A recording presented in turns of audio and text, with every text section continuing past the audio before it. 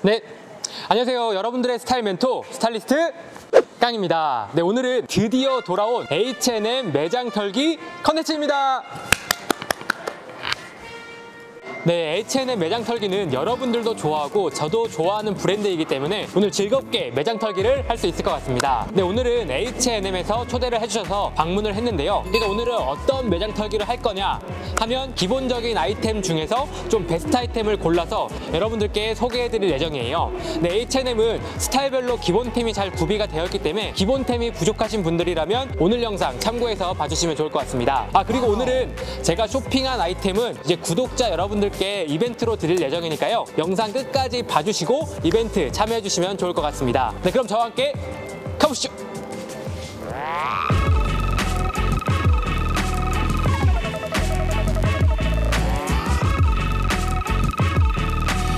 네, 처음 여러분들께 좀 소개해드리고 좀 보여드리고 싶은 아이템이 린넨 아이템들인데요. 네, 여름하면 이런 린넨 소재를 빼놓을 수가 없잖아요. 그래서 여러분들도 이런 린넨 소재의 아이템 하나쯤 구비를 해놓으신다면 여러분들 여름에 좀 시원하면서 센스 있게 스타일링할 수 있을 것 같습니다. 어, 여기서 여러분들이 린넨 아이템이 여러 가지가 있는데요. 어떤 걸 소개해드리면 좋을까요? 일단 보시는 거는 이제 린넨 소재의 셋업 수트도 있고요. 린넨 셔츠, 네 그리고 린넨 바지들도 있습니다. 근데 여러분들이 처음 린넨 아이템을 사시는 거라면 저는 이런 이런 화이트 린넨 셔츠를 추천드릴게요. 어, 일단 베이지 치노 팬츠랑만 딱 매치하더라도 깔끔하면서 정말 약간 센스 있어 보이는 그런 룩으로 코디할 수 있거든요. 그래서 이 화이트 린넨도 여러분들께 추천드리는 컬러고요. 근데 화이트 린넨 같은 경우에는 이렇게 살짝 비침이 있기 때문에 이건 좀 고려를 하시면 좋을 것 같고 이 화이트 말고 난 좀 미니멀한 감성으로 입고 싶다 하시는 분들은 저는 이 아이보리 느낌도 좋은 것 같아요. 그래서 이 화이트나 이 아이보리 느낌으로 여러분들이 코디를 해보시면 좋을 것 같습니다. 제가 이 아이템 가지고 스타일링도 해볼 예정이고요. 여러분들이 좀 생각을 하셔야 될게 린넨 아이템은 이렇게 주름이 많이 가는 원단이에요. 근데 하지만 이게 좀 신경 쓸 필요가 없는 게 린넨 아이템은 이런 주름이 좀 자연스러운 멋이기 때문에 여러분들 크게 신경 쓰지 않고 스타일링 해보셔도 좋을 것 같습니다. 여러분들이 린넨 아이템으로 어떻게 스타일링하면 좋은지 제가 코디해서 한번 보여드릴게요. 네, 제가 린넨 셔츠로 스타일링을 해봤어요. 이런 린넨 셔츠는 이런 치노 팬츠와 매치하면 뭔가 꾸민 것 같지 않지만 좀 멋스럽고 편안하게 연출할 수가 있습니다. 그래서 여러분이 톤온톤 느낌으로 이런 베이지 팬츠 이렇게 스니커즈랑 매치하시면 가장 쉬운 스타일링을 만들 수가 있어요.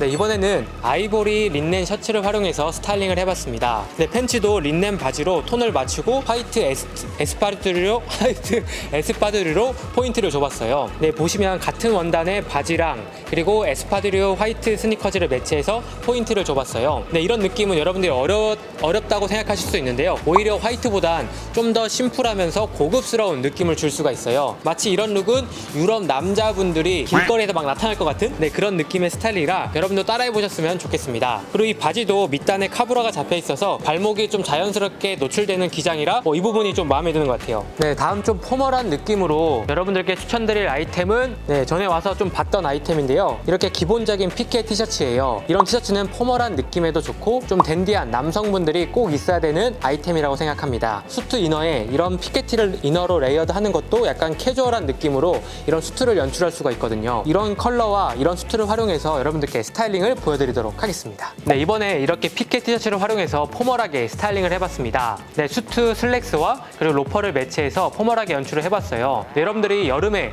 이런 피케티 어떻게 코디할까 고민하시는 분들은 이렇게 슬랙스랑 로퍼만 매치해도 정말 깔끔하면서 댄디한 룩을 만들 수가 있습니다. 그리고 피케티를 코디할 때 단추를 뭐 푸는 게 예쁜지 잠그는 게 예쁜지 고민하시잖아요. 개인적으로 이렇게 단추를 다 잠궈서 코디하시는 게 뭔가 좀 더 센스 있어 보이고 디테일이 생기는 것 같아서 이렇게 스타일링 해보시는 걸 추천드릴게요. 그리고 이제 직장인 분들이 어 나는 여름에 수트를 어떻게 입지 고민 많이 하시잖아요. 네 여기 이렇게 블레이저만 딱 매치하더라도 이제 직장인 분들이 쿨비즈 룩을 완성할 수가 있습니다. 네 여기서 스타일링 할 때 살짝 소매를 롤업해 준다면 좀 더 여름에 스타일링 할 때 좋겠죠? 네 그리고 어, 여기 지나가다가 봤는데 여러분들께 또 추천드리고 싶은 아이템은 어, 이제 프리미엄 코튼 티셔츠예요. 이게 이제 아시는 분들은 아는 티셔츠인데요. 이 티셔츠가 핏감도 좋고 원단도 좋아서 직장인 분들이 뭐 블레이저 이너로 활용한다든지 단벌로 활용해도 좋은 제품입니다. 그래서 이 제품도 제가 입고 한번 여러분들께 보여드릴게요. 네 이번에 코튼 프리미엄 티셔츠를 이너로 활용해서 좀 스타일링을 해봤어요. 네, 여름에 이런 수트 이너로만 딱 티셔츠만 매치하더라도 네, 깔끔하면서 캐주얼한 무드를 표현할 수 있거든요. 그리고 신발은 뭐 스니커즈 나쁘지 않지만 저처럼 이처럼 드라이빙 슈즈를 매치해도 이쁘게 연출할 수가 있습니다. 그래서 개인적으로 만 원대에 이런 티셔츠는 저는 끝판왕이라고 생각하기 때문에 꼭 이 프리미엄 티셔츠 확인해 보시면 좋을 것 같습니다. 네, 이렇게 해서 H&M에서 포멀한 기본 아이템들은 여러분들께 소개해 드렸고요. 다음은 기본 스트릿 캐주얼한 아이템 어떤 게 있는지 한번 살펴보도록 하겠습니다. 캐주얼 아이템은 2층에 많아서 2층에 올라가 볼 건데요. 오? 이건 내 스타일인데? 음... 네, 제가 지나가려고 했는데 이거 워낙 제 스타일이라서 제가 입고 나와 보았습니다. 네, 이런 하와이안 셔츠를 너무 바닷가, 너무 여름스럽게 코디하는 것보단 저처럼 약간 스키니랑 부츠랑 활용하면 훨씬 더 세련되고 시크한 느낌을 줄 수가 있거든요. 네, 그래서 이거는 제 스타일대로 한번 입어보았고요. 여러분들도 이런 스타일 좋아하시는 분들이라면 네, 한 번쯤 도전해보셔도 좋을 것 같습니다. 네, 그럼 2층으로 올라가서 캐주얼, 스트릿, 기본템에 대해서 뭐가 있는지 한번 살펴볼게요. 네, 이렇게 2층에 도착을 했고요. 2층에는 캐주얼 스트릿 라인이 좀 모여 있다고 할 수가 있어요. 여기서 어떤 게 기본 아이템인지 여러분들께 소개해 드리도록 하겠습니다. 근데 개인적으로 H&M에서 이 조거 팬츠가 굉장히 잘 나오거든요. 그래서 스트릿 기본 아이템 하면 이런 조거 팬츠를 빼놓을 수가 없잖아요. 그래서 뭐 카키랑 블랙 여러 가지가 있는데 블랙으로 기본 스트릿 코디를 보여드리도록 하겠습니다. 네, 그리고 여러분들이 스트릿 코디할 때 너무 무지티를 코디하는 것보단 살짝 프린팅이 있는 게 좋거든요. 개인적으로 이 아이템이 좀 무난하면서 좀 락시크적인 느낌도 나서 이걸로 스트릿 코디를 한번 여러분들께 보여드리면 좋을 것 같습니다. 그래서 여러분들이 스트릿 코디 할 때는 한 사이즈나 두 사이즈 업해도 아마 이쁘게 스타일링 할 수가 있어요. 그래서 이 아이템을 여러분들께 한번 입고 보여드릴게요.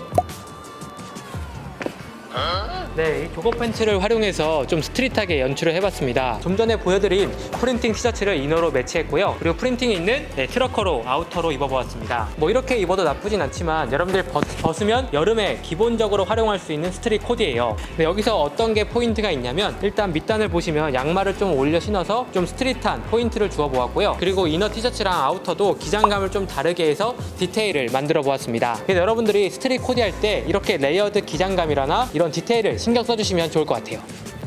네, 그래서 street 기본 outer로 이런 trucker도 나쁘지 않지만 이런 코치 자켓도 street 기본 아이템에 딱 좋거든요. 그래서 뭐 아메카지라던가 좀 street한 느낌에 활용하면 좋은데요. H&M에서 캐주얼 기본 아이템으로 잘 나오는 게 이 옥스퍼드 셔츠 라인이거든요. 그래서 기본 화이트 컬러가 없으신 분들은 이 화이트 컬러를 선택해 주시면 좋을 것 같고요. 그리고 이 핑크 컬러는 기본이 있으신 분들이 좀 다른 느낌으로 경쾌하게 연출할 수 있을 것 같아요. 그리고 많은 분들이 물어보시는 게 옥스퍼드 셔츠 컬러감 있는 걸 어떻게 코디하면 좋을지 많은 분들이 물어보시거든요. 그래서 컬러감이 있게 스타일링도 여러분들께 보여드리도록 하겠습니다. 그리고 이쪽 보시면 좀 린넨 소재로 되어 있는 옐로우 컬러도 있거든요. 그래서 이 컬러감도 여러분들께 한번 보여드릴게요. 네, 이번에 레몬 컬러 린넨 셔츠를 활용해서 스타일링을 해봤습니다. 네, 여러분들이 컬러 코디 좀 어려워 하시는데요. 이런 컬러 코디 할 때는 차라리 좀 과감하게 스타일링하는 것도 좋아요. 저처럼 카키 컬러의 린넨 팬츠와 네, 화이트 espadrille로 스타일링을 해봤어요. 여러분들도 뭐 샌들이나 아니면 슬리퍼 이런 신발을 활용해서 스타일링 한다면 네, 여름에 이쁜 코디를 만들 수가 있습니다. 네, 이런 코디는 여러분이 여행 갈 때도 좋을 것 같고요. 뭐 바닷가나 이런 데도 활용하기 좋은 코디예요. 또 여기에서 딱 이런 모자만 딱 써더라도 여름 신사 같은 느낌?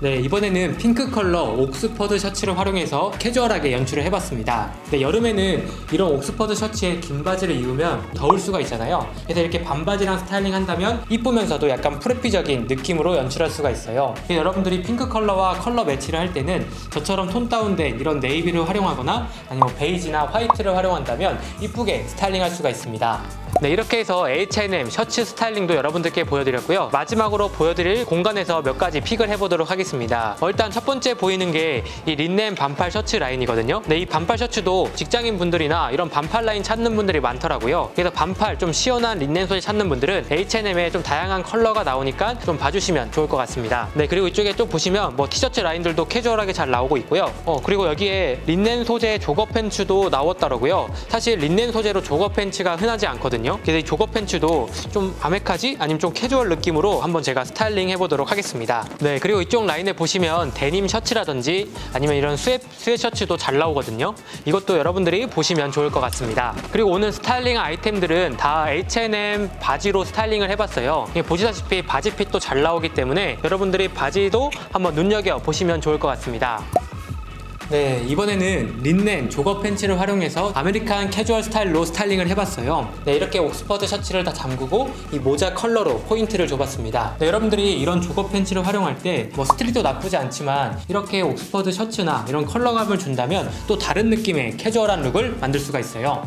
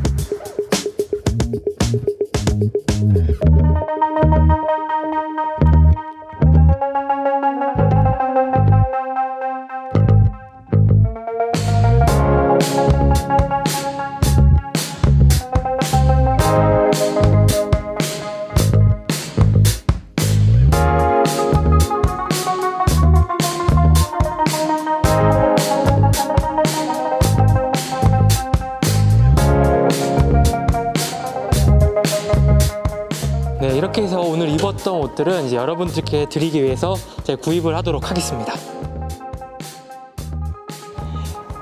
네, 이렇게 해서 H&M 매장 털기를 끝마쳤습니다.